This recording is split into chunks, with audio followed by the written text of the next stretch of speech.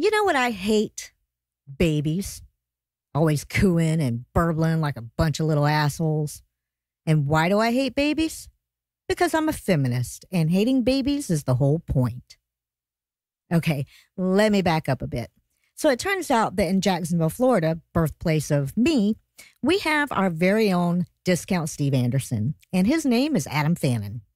We've talked about him on the show before. He was actually Steven Anderson's fluffer in Science Falsely So Called. And just to remind everybody what an asshole he is, he spent his Mother's Day sermon attacking women.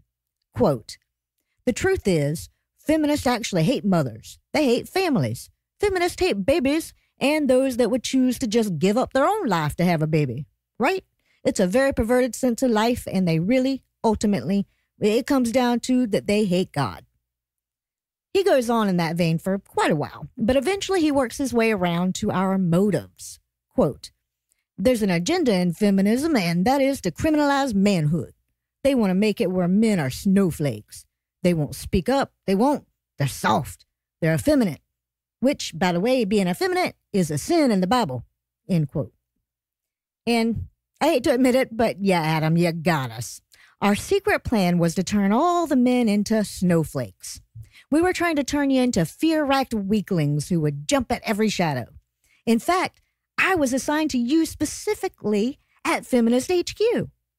But now that it's clear you feel threatened by Target no longer separating toys by gender, eh, I think it's safe to say that our work here is done. And speaking of the Bible hating long haired girly men, Alaska pastor Tad Lindley also had a few words on that subject in a blog post titled, Do You Care About Your Hair? God does. I guess he figured that a lot of people's chief stressor during the pandemic was whether God minded if they let their hair go for a couple of months. And the answer is fuck yes, he minds. If you're a man, that is. See, Lindley points out that in 1 Corinthians chapter 11, God lays down the gender based hair rules pretty clearly. For men, doth not nature itself teach you that if a man have long hair, it is a shame for him?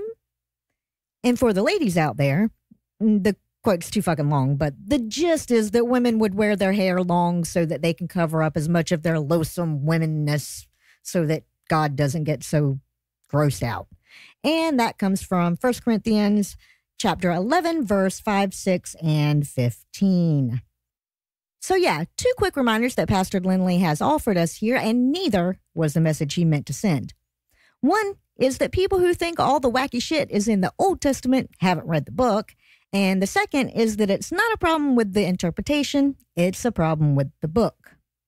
And on that note, I'll hand things back over to Noah, Heath, and Eli.